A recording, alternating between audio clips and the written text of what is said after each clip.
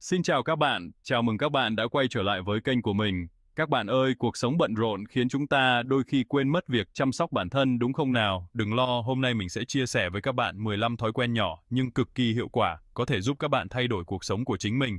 Cùng khám phá xem đó là những thói quen nào nha. Các bạn đừng quên bất phủ để để theo dõi video dễ dàng hơn nha.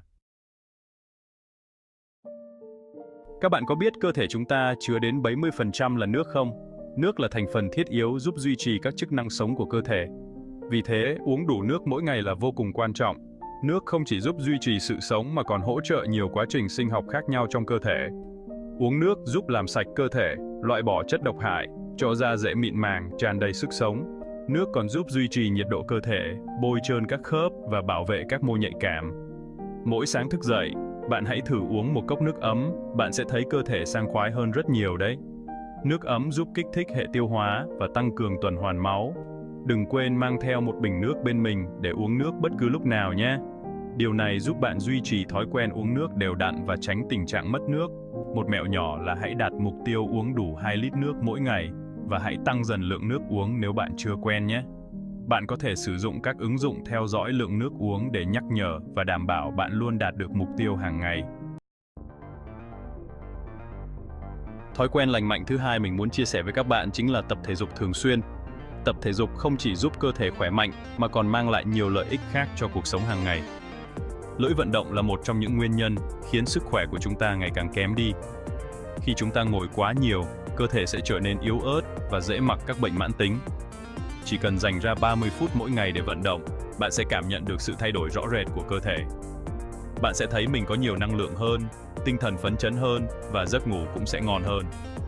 Bạn có thể chọn các bài tập phù hợp với mình như chạy bộ, yoga, tập gym hoặc tham gia các lớp học thể dục nhóm. Hoặc đơn giản là đi bộ sau bữa tối. Đi bộ không chỉ giúp tiêu hóa tốt hơn, mà còn là cơ hội để thư giãn và tận hưởng không khí trong lành. Hãy nhớ rằng, tập thể dục không chỉ giúp cơ thể khỏe mạnh mà còn giúp tinh thần sang khoái và vui vẻ hơn rất nhiều. Khi bạn tập thể dục, cơ thể sẽ sản sinh ra endorphin, một loại hormone giúp giảm căng thẳng và mang lại cảm giác hạnh phúc. Vì vậy, hãy bắt đầu ngay hôm nay và biến tập thể dục thành một phần không thể thiếu trong cuộc sống của bạn. Bạn sẽ thấy sự khác biệt rõ rệt và cảm nhận được những lợi ích tuyệt vời mà nó mang lại. Sau một ngày dài hoạt động, cơ thể chúng ta cần được nghỉ ngơi và phục hồi năng lượng. Giấc ngủ chính là liều thuốc thần kỳ nhất. Thiếu ngủ khiến bạn mệt mỏi, uể oai, ảnh hưởng rất lớn đến sức khỏe. Ngủ đủ giấc giúp tăng cường sức đề kháng, cải thiện trí nhớ và giúp bạn kiểm soát cân nặng hiệu quả.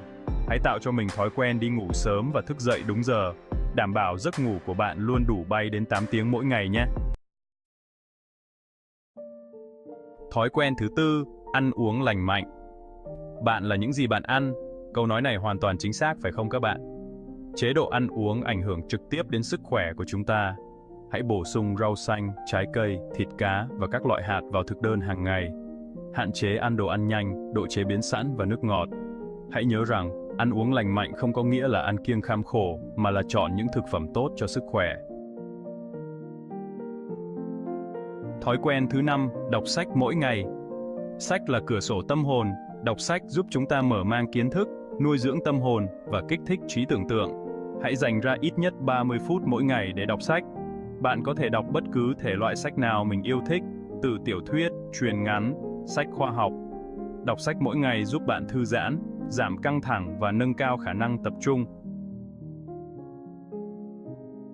Thói quen thứ 6, thiền định. Trong cuộc sống đầy áp lực, thiền định là một phương pháp tuyệt vời giúp bạn kiểm soát tâm trí, giải tỏa căng thẳng và tìm thấy sự bình yên. Bạn không cần phải dành quá nhiều thời gian, chỉ cần 5 đến 10 phút mỗi ngày là đủ.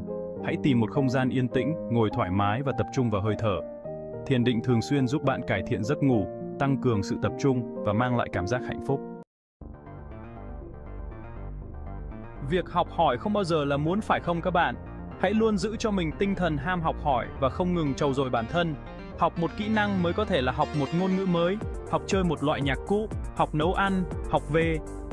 Học hỏi những điều mới mẻ giúp bạn phát triển bản thân, tăng cường sự tự tin và mở ra nhiều cơ hội mới. Giữ gìn vệ sinh cá nhân không chỉ là thói quen tốt mà còn thể hiện sự tôn trọng bản thân và những người xung quanh.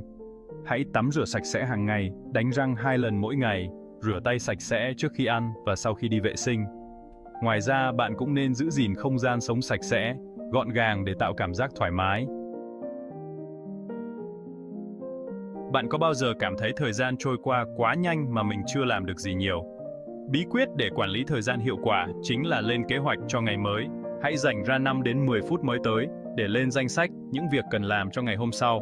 Lên kế hoạch giúp bạn làm việc khoa học, hiệu quả và không bỏ lỡ bất kỳ công việc quan trọng nào. Con người là tổng thể của các mối quan hệ, chính vì vậy, hãy dành thời gian cho những người thân yêu của bạn. Hãy gọi điện, nhắn tin hỏi thăm người thân, bạn bè thường xuyên hơn. Dành thời gian để gặp gỡ, trò chuyện và chia sẻ niềm vui trong cuộc sống. Những mối quan hệ tốt đẹp giúp bạn cảm thấy hạnh phúc và có thêm động lực để vượt qua khó khăn. Trong thời đại công nghệ số, việc sử dụng điện thoại, máy tính là điều không thể tránh khỏi. Chúng ta sử dụng chúng để làm việc, học tập, giải trí và kết nối với mọi người. Tuy nhiên, việc sử dụng quá nhiều các thiết bị này có thể dẫn đến nhiều vấn đề sức khỏe. Tuy nhiên, việc lạm dụng các thiết bị điện tử sẽ gây ảnh hưởng không tốt đến sức khỏe và cuộc sống của bạn. Những vấn đề như mỏi mặt, đau đầu, căng thẳng và mất ngủ là những hậu quả thường gặp. Ngoài ra, việc ngồi lâu trước màn hình cũng có thể gây ra các vấn đề về cột sống và béo phì. Hãy đặt ra giới hạn thời gian sử dụng điện thoại, máy tính mỗi ngày. Bạn có thể sử dụng các ứng dụng để theo dõi và quản lý thời gian sử dụng thiết bị của mình. Điều này sẽ giúp bạn có một lối sống lành mạnh hơn. Tắt thông báo của các ứng dụng mạng xã hội khi không cần thiết. Điều này sẽ giúp bạn giảm bớt sự phân tâm và tập trung hơn vào công việc hoặc học tập. Bạn cũng có thể thiết lập chế độ không làm phiền vào những thời điểm quan trọng. Thay vì dán mắt vào màn hình điện thoại, hãy dành thời gian cho các hoạt động bổ ích hơn như đọc sách, tập thể dục, gặp gỡ bạn bè hoặc tham gia các hoạt động ngoài trời. Những hoạt động này không chỉ giúp bạn thư giãn mà còn cải thiện sức khỏe tinh thần và thể chất của bạn. Mọi người trong chúng ta đều có một năng lực sáng tạo tiềm ẩn. Hãy đánh thức năng lực ấy bằng cách tham gia các hoạt động sáng tạo. Bạn có thể vẽ tranh, viết truyện, chơi nhạc, làm đồ handmade. Tham gia các hoạt động sáng tạo giúp bạn giải tỏa căng thẳng, kích thích trí tưởng tượng và mang lại niềm vui cho cuộc sống. Cho đi là còn mãi, hãy lan tỏa yêu thương bằng cách tham gia các hoạt động tình nguyện. Bạn có thể tham gia các hoạt động như hiến máu nhân đạo, quyên góp quần áo cũ, dạy học cho trẻ em vùng cao, giúp đỡ những người xung quanh giúp bạn cảm thấy cuộc sống có ý nghĩa hơn và lan tỏa những điều tốt đẹp đến cộng đồng. Sau những ngày dài nỗ lực, hãy tự thưởng cho bản thân những món quà nho nhỏ. Đó có thể là một chuyến du lịch ngắn ngày, một bữa ăn ngon, một món đồ bạn yêu thích. Tự thưởng cho bản thân giúp bạn nạp lại năng lượng, tạo động lực để tiếp tục cố gắng và tận hưởng cuộc sống. Trong cuộc sống bận rộn, đừng quên dành thời gian cho chính mình. Hãy làm những điều mà bạn yêu thích, ví dụ như nghe nhạc, đọc sách, xem phim, đi spa. Dành thời gian cho bản thân giúp bạn thư giãn, giảm căng thẳng và yêu thương bản thân mình hơn. Cảm ơn các bạn đã theo dõi video của mình. 15 thói quen lành mạnh này tuy nhỏ nhưng nếu bạn áp dụng đều đặn, mình tin chắc rằng cuộc sống của bạn sẽ thay đổi tích cực hơn. Hãy bắt đầu từ những thói quen nhỏ nhặt và biến chúng thành thói quen hàng ngày nhé. Đừng quên like, share video và subscribe kênh để ủng hộ mình ra thêm nhiều video bổ ích hơn nữa nhé. Hẹn gặp lại các bạn trong các video tiếp theo.